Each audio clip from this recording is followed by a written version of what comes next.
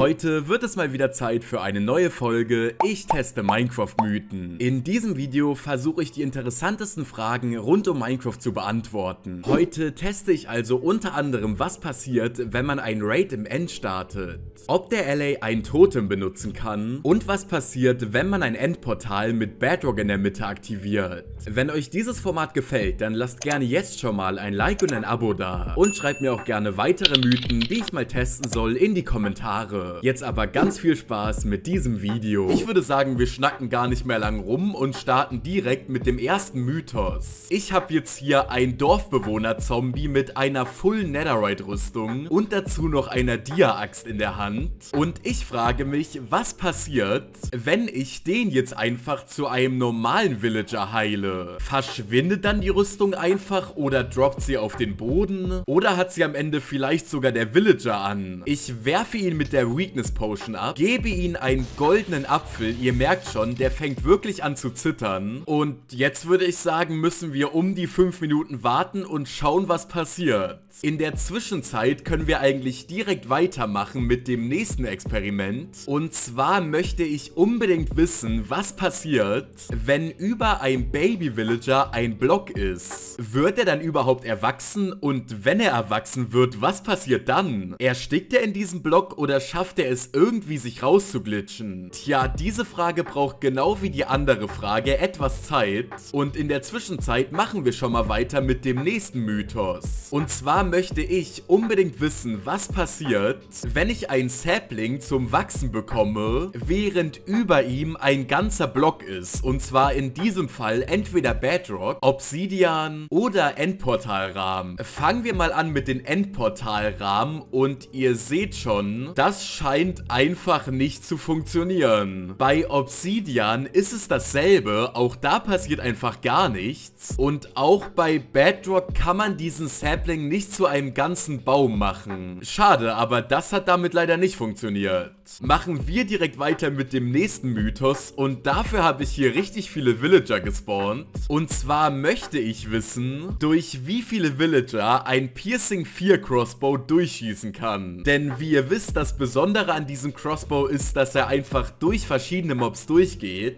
Okay, Freunde, wir machen gleich weiter mit dieser Aufgabe. Aber ihr seht's links unten, ich habe ein Achievement bekommen. Und das bedeutet, unser Zombie-Dorfbewohner wurde einfach geheilt. Und jetzt bin ich wirklich gespannt, was mit der Rüstung passiert. Und Freunde, guckt euch das mal an. Die Rüstung liegt nicht auf dem Boden. Es kann allerdings natürlich auch sein, dass der Villager die Rüstung einfach behalten hat und er deswegen einfach mehr Schaden aushält, die Rüstung aber nicht angezeigt wird. Ein normaler Villager braucht mit einem normalen Netherite-Schwert insgesamt drei Schläge, um zu sterben. Okay, das merken wir uns. Wie sieht's jetzt mit diesem Villager aus? Eins, zwei, drei und er ist wieder tot. Okay, also das ist wirklich interessant, aber die Rüstung scheint sich dann einfach wegzubuggen. Machen wir jetzt aber weiter mit dem Durchschussexperiment. Ich spanne den Crossbow, stelle mich vor diese Villager. Jetzt schieße ich mit ihm und jetzt bin ich wirklich gespannt.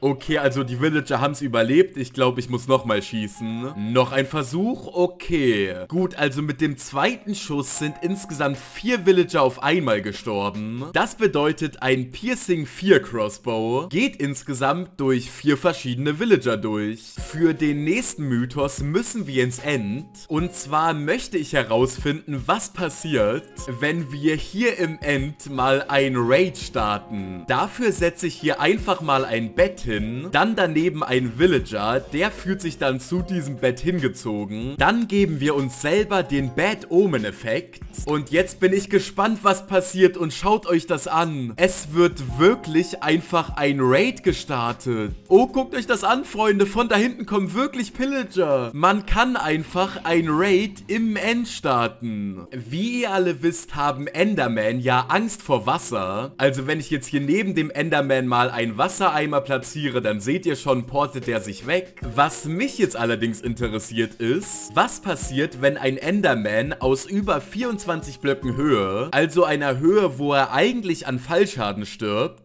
auf einen Wasserblock drauf fällt, stirbt er dann trotzdem, weil er sich ja irgendwie von dem Wasser wegportet? Deswegen habe ich hier einen Command-Block platziert, der einen Enderman in insgesamt 120 Blöcken Höhe spawnt, genau über diesem Wasserblock. Und ich probiere das Ganze doch jetzt einfach mal aus. Also ich aktiviere den Command-Block, ihr seht schon. Dort oben fällt ein Enderman genau auf das Wasser drauf und er portet sich einfach, bevor er das Wasser berührt, weg. Aber bekommt trotzdem keinen Fallschaden, weil da hinten lebt er einfach noch. Der nächste Mythos ist auf jeden Fall auch sehr, sehr interessant. Und zwar hat dieser was mit Eisengolems zu tun. Wie ihr alle wisst, wenn ich ein Eisengolem einfach mal ein bisschen Schaden mache, dann dann kann ich ihn in der Java-Edition ganz einfach mit Eisenbarren wieder hochheilen. Die Frage, die ich mir jetzt allerdings stelle, ist, was passiert, wenn ich einen Eisengolem im Survival-Modus haue, also dass er aggressiv auf mich wird und ihn dann hochheile, ist er dann immer noch sauer auf mich? Das Ganze probieren wir einfach mal aus. Ihr seht's, der Bre ist auf jeden Fall sauer auf mich. So, und wenn ich ihn jetzt mit Eisenbarren versuche hochzuheilen, so, das hat funktioniert. Ist er dann immer noch sauer auf mich? Hallo, sind wir nicht Freunde? Okay, sind wir nicht. Das hat sich erledigt. Für den nächsten Mythos sind wir mal wieder im End. Und zwar ist das eine Frage, die eigentlich ziemlich einfach klingt, über die ich mir aber ehrlich gesagt noch nie Gedanken gemacht habe. Und zwar, kann ein Sapling eigentlich im End wachsen oder funktioniert das nicht. Ich probiere das Ganze einfach mal mit Bone Meal aus und ihr seht schon, es funktioniert. Man kann einen Baum im End wachsen lassen. Bevor wir mit dem nächsten Rätsel weitermachen, wird es doch mal Zeit auf unser Villager-Kind zu schauen. Und zwar sind jetzt um die 20 Minuten rum, seitdem ich das Kind gespawnt habe. Und jetzt sollte es eigentlich jeden Moment erwachsen werden. Oh, Freunde, okay, okay, okay. Er ist gewachsen. Es hat wirklich länger gedauert als gedacht. Ich habe gerade TikToks geschaut. Aber ihr seht schon, er ist einfach in diesen Holzblock reingewachsen und dann halt einfach erstickt machen wir weiter mit einer anderen sehr, sehr interessanten Frage. Und zwar habe ich hier ein Nether-Portal, was nicht angezündet ist und davor ein Blitzableiter. Und ich frage mich, was passiert, wenn ich jetzt hier durch einen Comment-Block es zu einem Gewitter mache und dann hier ein Blitz einschlägt? Weil dann sollte ja eigentlich das Obsidian-Portal angezündet werden. Oh, no way, Freunde. Ich habe gerade es nochmal Gewitter gemacht. Und habt ihr das gerade gesehen? Es hat einfach funktioniert. Das Portal wurde einfach durch einen Blitz angezündet. Wie ultra cool sah das denn aus? Okay, Freunde, für den nächsten Mythos habe ich hier eine fast kaputte Spitzhacke, die, wie ihr seht, noch genau einen einzigen Block abbauen kann. Dann geht sie kaputt. Auf der habe ich jetzt Manding drauf. Die hat genau dieselbe Haltbarkeit wie die Spitzhacke gerade. Und die Frage, die ich mir jetzt stelle, ist, was passiert, wenn ich mit dieser Spitzhacke einen Erzblock abbaue? Also dadurch, dass sie nur noch eine Haltbarkeit hat, sollte sie eigentlich instant kaputt gehen. Dadurch, dass sie allerdings auch Manding drauf hat, könnte es auch sein, dass sie sich, bevor sie kaputt geht, selber repariert und man sie dann einfach noch weiter benutzen kann. Ich stelle mich hier oben drauf, baue das Dia-Erz ab und die Spitzhacke geht kaputt. Wir bekommen ein paar Level, aber es hat leider nicht funktioniert, die Spitzhacke zu reparieren. Die nächste Frage habe ich mir ehrlich gesagt schon ein paar Mal gestellt.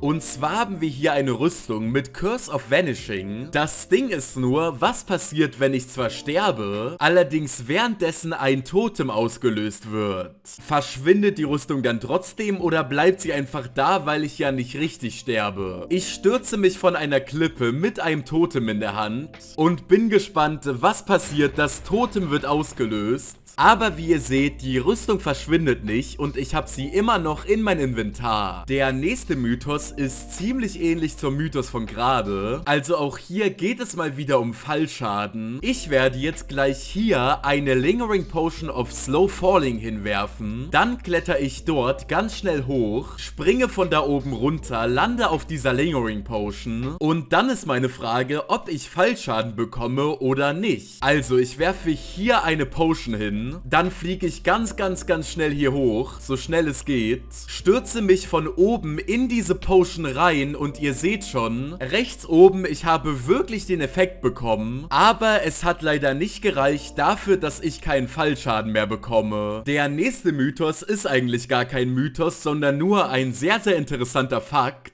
Und zwar habe ich dafür hier zwei Strecken aufgebaut.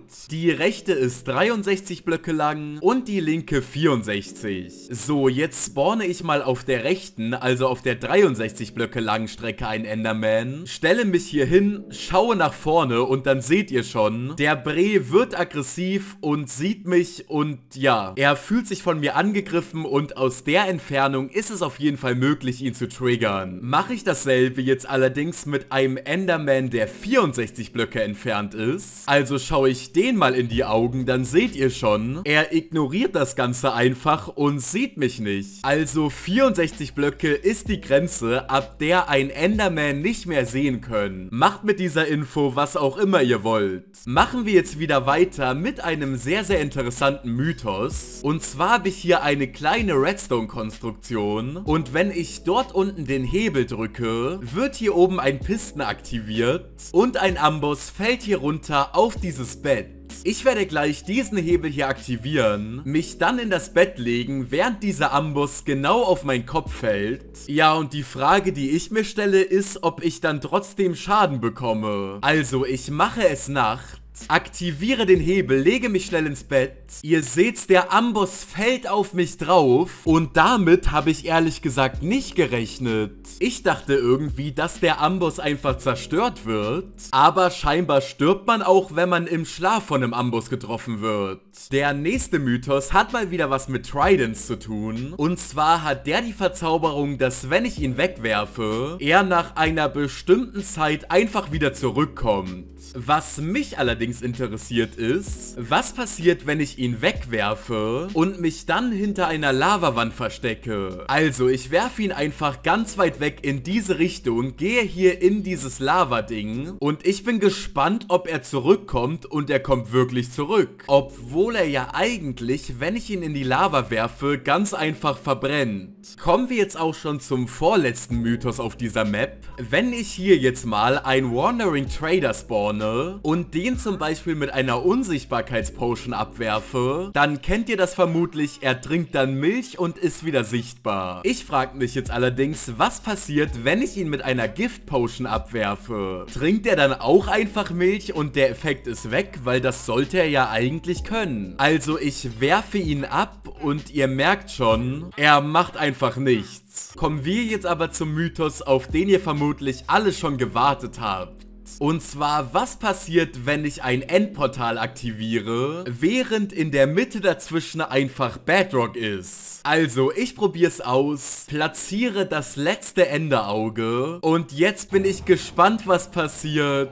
Und ihr merkt schon, das Bedrock wird einfach entfernt und das Portal steht ganz normal da, als wäre alles wie immer. Ich habe wie angekündigt noch zwei kleine Specials vorbereitet. Einen seht ihr schon im Hintergrund und der funktioniert nur auf der Bedrock Edition. Und zwar stelle ich mir die Frage, ob ein Armor Stand mit einem Schild Pfeil Pfeile abwehren kann. Ich probiere das Ganze aus, schieße ihn ab und ihr seht schon, der Armor Stand geht einfach trotzdem kaputt. Für den letzten Mythos für die heutige Folge sind wir nochmal auf dem neuesten Snapshot unterwegs. Und zwar möchte ich unbedingt herausfinden, was passiert, wenn man den kleinen LAs ein Totem gibt. Okay, also der LA brennt, das seht ihr ja jetzt. Und ihr seht auch, dass das Totem wirklich ausgelöst wird. Jetzt bekommt er auch keinen Schaden mehr, weil er ja dadurch Feuerresistenz hat. Und somit stimmt es wirklich und LAs können Totems benutzen. Sehr, sehr cool. Wenn euch das Video gefallen hat, würde ich mich wirklich extrem über ein Like und ein Abo freuen. Und lasst auch gerne einen kleinen Kommentar für den Algorithmus da. Ich konnte jetzt wegen Corona eine Woche nichts hochladen und das ist wirklich überhaupt überhaupt nicht gut für den Algorithmus. Danke an jeden, der mich auf meiner Reise YouTuber zu werden unterstützt. Ich bin Gustav und ich wünsche euch noch einen guten Morgen, Mittag oder Abend.